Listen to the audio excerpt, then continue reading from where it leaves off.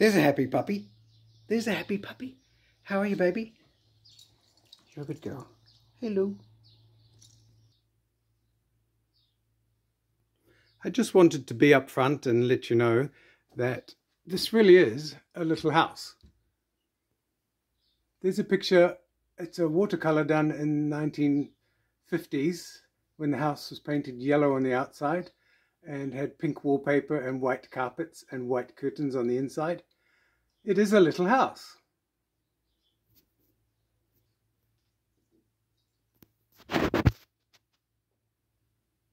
Let us go and see how we are getting on with the hidden door.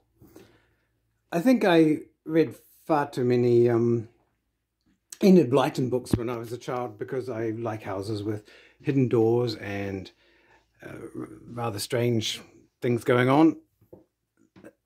Hidden doors, secret passages, tunnels and turrets. Well, we do actually have a, um, a secret what do you call it, trap door down to the basement.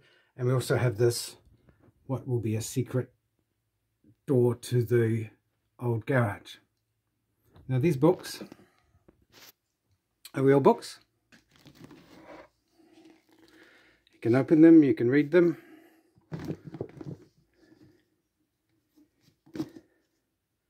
You can put them in the right way up. That's Wuthering Heights, by the way, quite a good read. Um, a lot of Charles Dickens.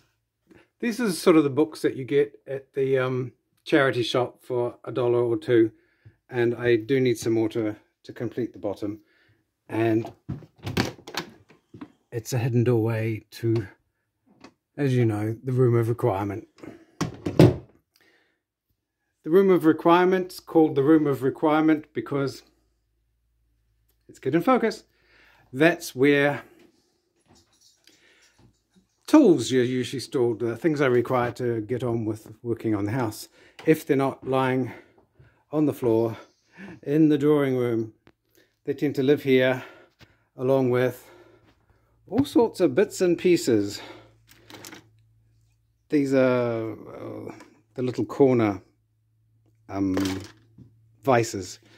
Uh, this piece of paneling matches that piece in the center over there and will eventually end up on the other side. Um, this is the new paneling that's just arrived from overseas. It's been cut and started to be sanded and I need to remove some portions because I don't like the way it came um, and get on with it.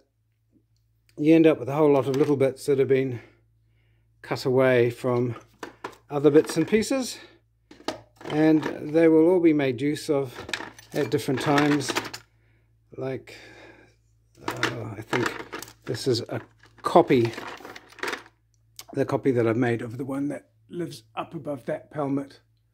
Um, making copies of the ones on either side of there for different parts of the room. And something we didn't see the other day was above the um, doorways. I've completed about two weeks ago.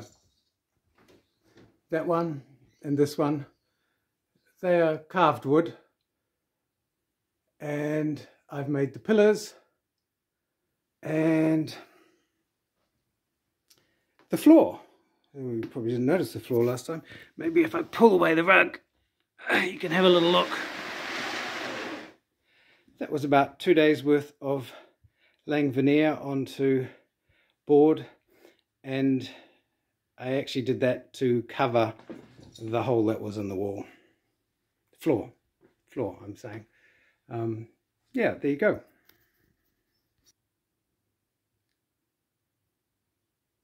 Just so that you know that um, this fireplace didn't used to be here either. This was just boulders, like Rocky Mountain boulders piled up from the 1950s.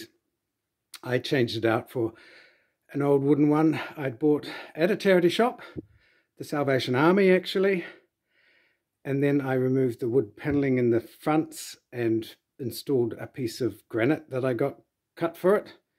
Since then, I've actually learned how to cut granite myself. So um, things change. I would cut it all myself the next time. Um, and this is the paneling I'm currently working on. I showed you the pieces that, that had arrived recently. These are a couple of my paintings. I did a lot of um, wildlife studies when I was young. I like them, but they're going to have to move over, maybe over there somewhere, um, because the paneling doesn't allow for paintings to be hung. I'll be doing that along there further.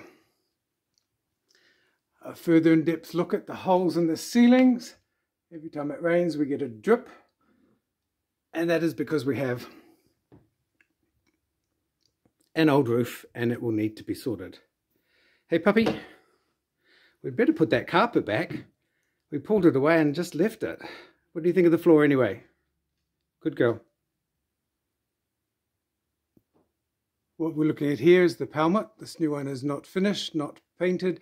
And as you can see, the actual height of the windows stops short of the height of the pelmet. And that is because once you put in some curtaining and cover the fact that the pelmet's shorter, it actually enhances the room by making the whole room appear taller because of the height of the ceiling is normal, but the curtains draw your eye up further.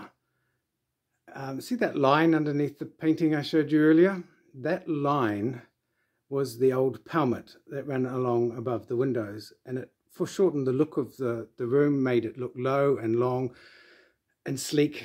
There were no cornices in this house at all. It was just a plain ceiling with one piece of stick wood running along it and I installed all of these. They're remarkably cheap. Um, I thought the guy said they were $62 including uh, per meter. They weren't, they were $62 per length. And that basically there is a length. So you had 62, 62 and a half, 62, 62 and a half, and you would have a standard room. This is a very big room because of the walls we took out. And it encompasses a small alcove over there that we call the the music room only because it's got two pianos crammed in there. One of them has to go, but I can't decide which. One plays beautifully and one looks beautiful. Um, yes, the house is full of weird stuff, but that's how we like it. Um, and there's the um, painting I did just to brighten it up. It was very boring. It was very ordinary.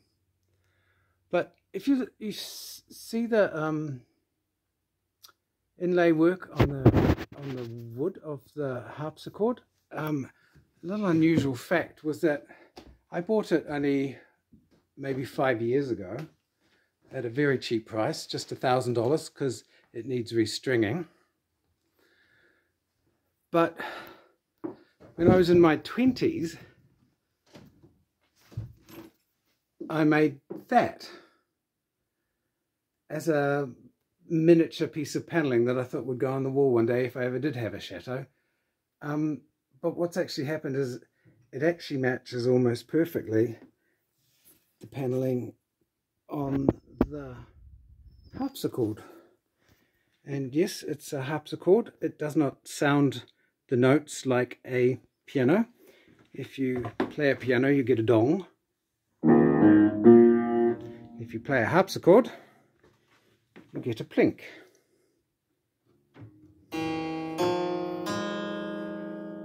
Much more pleasant.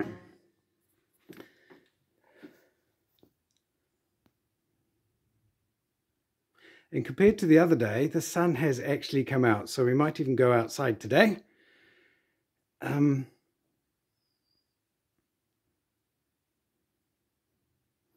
I do apologize for the quality of my video. My hands do shake.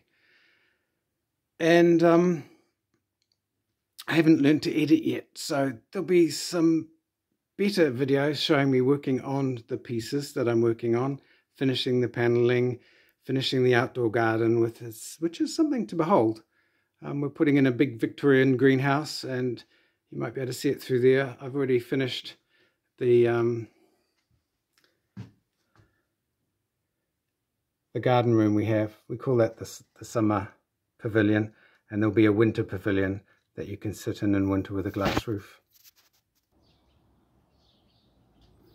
The summer pavilion is a very pleasant place to be in summer because when it's hot the coolness of the um, granite walls and the um, inlaid marble floor is very cool.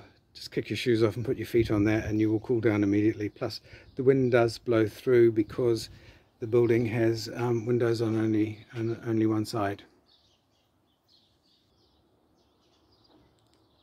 We have just had quite a winter storm, so you can see the debris. The lemons all came off the tree. Um, was unable to move, uh, mow the lawns because of the rain. Um, you know, the whole world is having plenty of storms at the moment. But this is just a preview of the winter garden that's being constructed as we speak.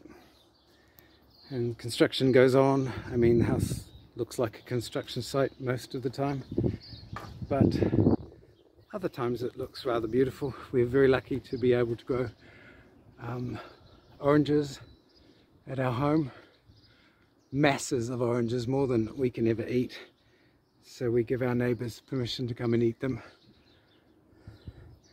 um, there's not a lot going on in the garden at the moment other than um, the daffodils have just finished it's a very, very early spring. We've got some beautiful arum lilies and some little white bells, but there's not a lot happening in the garden as we speak. But um, even our garden shed has pretensions. Uh, I did this work about two months ago. Um, Carsten created that. And um, I will probably use the same motif somewhere inside the house in the top of a panel perhaps. And I've yet to finish the um, work on the ceiling which is a curved um, it needs all the other panels um, put in. It's a curved um, Roman ceiling to go along with the um, beautiful alabaster um, light pendant that I got in a um,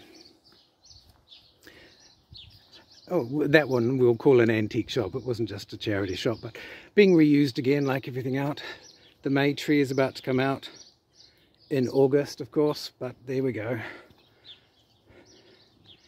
And here we have my daughter's sculpture. Her addition to the garden is, um, the crying angel the weeping angel and she turned up at Halloween. I will show you pictures of the Halloween party when we get there. So it's a good sized yard on a rather ordinary house. Now the next job to be done is we're going to set work onto this. These came from overseas. I bought them online. They're not expensive they are, I suppose, but they're not quite what I want. So, what our intention is, hey puppy, hey, say hello, um, is to remove this part here. I, I don't like it, it doesn't look um, 18th century to me, it looks kind of a little modern, it's a little bit sharp. Uh, these are vacuum packed, they come beautifully packed, amazingly um, finished. They need some sanding and to remove that piece there and then a couple of paint uh, loads of paint and eventually they will be the other side of the wall.